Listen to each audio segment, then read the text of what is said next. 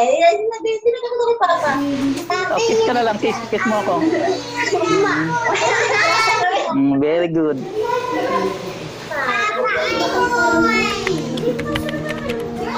Ah, um, ayos, ayos yung low. Ah.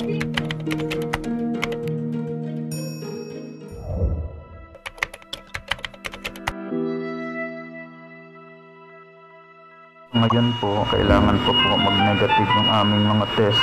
So, inaantay pa po yung mga huling result ng test ko bago kami mag-ano, proceed sa quarantine.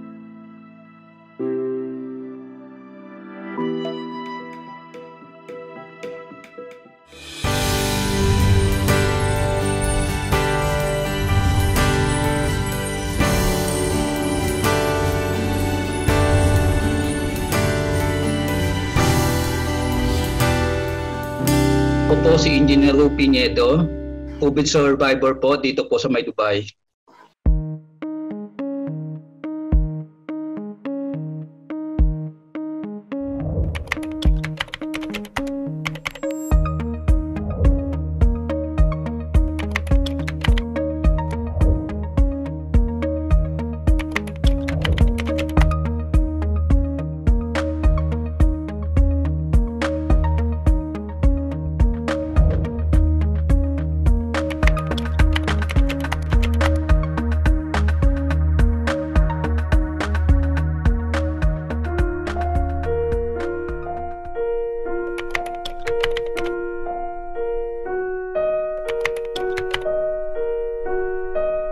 Talagang nagdadasal na lang ako at at at, at that time talaga sabi ko kung Lord kung bubuhayin niyo po ako, buhayin niyo po ako. Pero kung hindi at nasa kalooban niyo po, eh kayo na pong bahala talaga. Wala na eh. Hirap na hirap na po ako noon eh.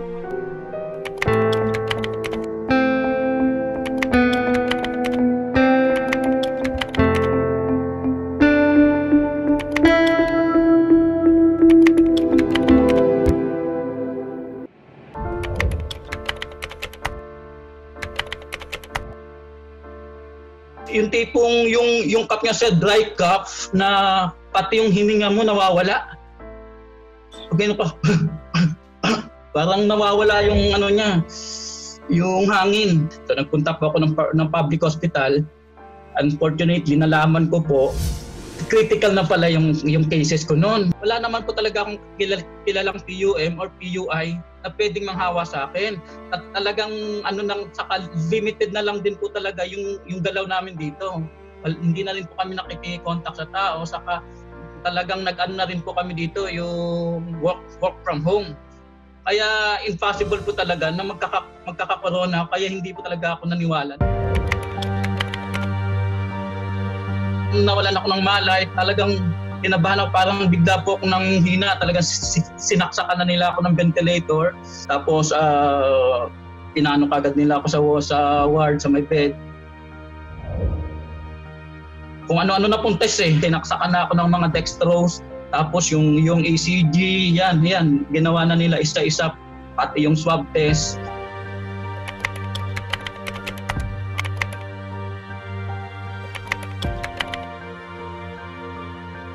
So, pinalaying down lang talaga nila ako. For 3 days, ganun lang ang position ko, sir. Naka-ventilator, nakalaying down. Yung 90% ng lungs mo, wala na. Talagang umiiyak na lang ako doon kasi nag-iisa ka lang, ka, ka na lang doon, sir. Titingnan ka na lang ng mga doctor or nurse kung buhay ka ba ba o ano, ano na nangyayari sa'yo. Sasaksakan ka lang ng, ng, ano, ng ano, gamot tapos iwanan ka. Talagang titiisin mo, 3 days, walang tulog, walang kain. Bahala na kung mabubuhay ka bala na talagang talagang na-experience ko na po talaga yung near death eh. Yung yung hallucination, sir. Talagang parang naniniwala na, na, na talaga ako diyan na may mga sundo pala tayo sa kabilang buhay. Talagang parang may lalabas ng liwanag na makikita mo na yung mga kamag-anak mong namatay. Talagang kapag na mamamatay ka, darating pala tayo sa point sa point na yon.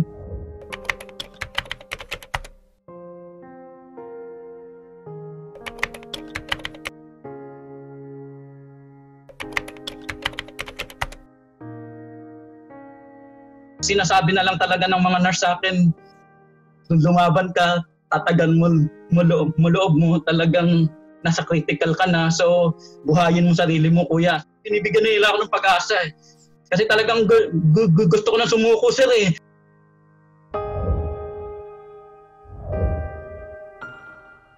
Sa apat na araw, sabi nila, medyo lumalakas-lakas ka na, tiisin mo pa, mga ilang araw pa, makaka-recover pa.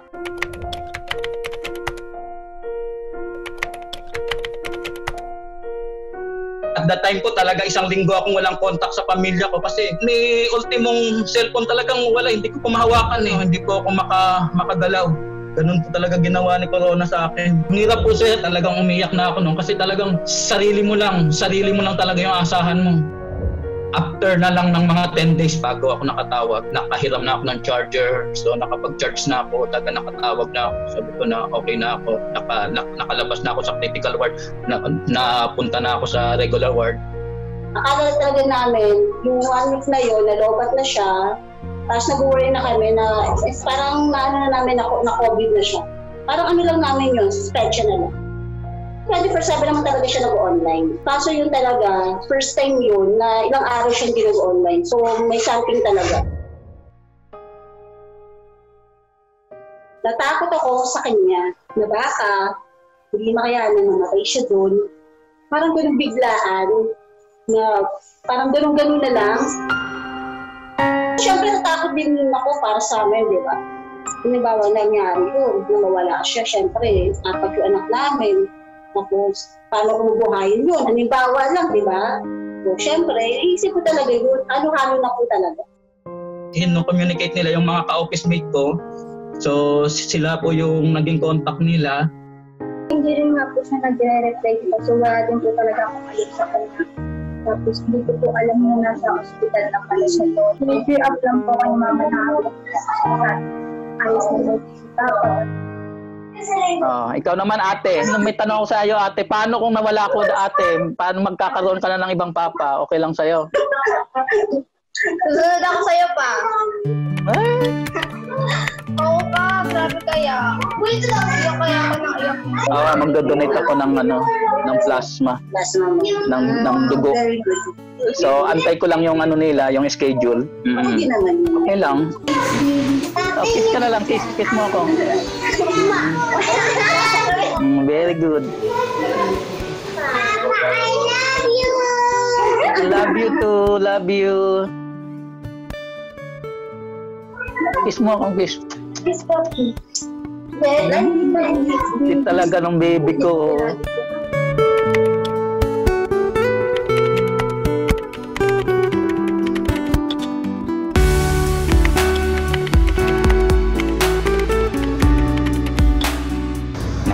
Po ako dito po sa aming flat. So ito po, pakita ko sa inyo. Dito po, ito na po ako. Ito po yung place. Ito po yung place ko. Ito po yung yung aming common common na salas. Ito po yung aking room. So, magagawa ko na po yung aking usual na mostly na na ginagawa. Ayan po. Dito po yung aming pinaka tambayan. So, ito po dito po kami nagka yung grupo po namin dito po nagkakasalo-salo kami. Po si Sir Mario, siya, siya po yun sa kabilang kwarto. So, isa din mo, Sir, ito, tat- tatanungin kita, nung time na nagka, ako'y naging positive nga sa corona, anong unang mong naisip? Anong ginawa nyo na Ah, precaution? mag uh, ikaw sa sarili safe Mm, sige. separate sa mga Ayun, gamit okay. gamitan ng kitchen gano'n Ayan. walay So sir, nung, du- du- nung dumating na ako, after one month, ang mga isang buwan at kalahati, pumunta ako dito. Ah, natakot ka ba sir na baka meron pa rin akong virus? Eh, hindi naman Hindi na, bakit Hindi na. sir? kasi hindi ka naman i-release ng hospital Mhm. kung makakahawak ka eh.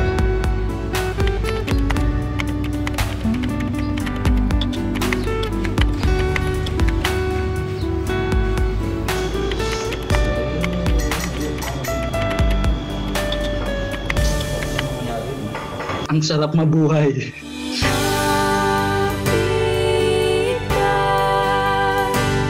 Napakasarap mabuhay. Tapos, ang sarap ng merong pamilya. Ang sarap huminga. Ang sarap palang mangarap ulit. Isang virus lang, pwede ka nang mamatay. Isa lang palang buhay natin. Yung buhay natin na nung nabubuhay tayo, dapat pala, naayos natin. Inaayos natin ang buhay natin. Dapat inaalagaan natin ang katawan natin. Sumusunod tayo sa maayos ng mga panuntunan ng ano, pamahalaan. Talaga merong God na gumagabay sa atin. Merong Lord.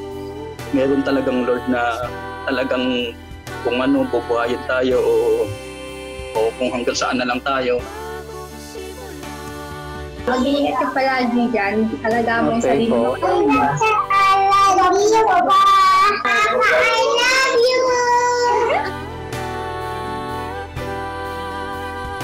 Ako po si Engineer Rafi Nieto, isang ama at COVID survivor dito po sa Dubai.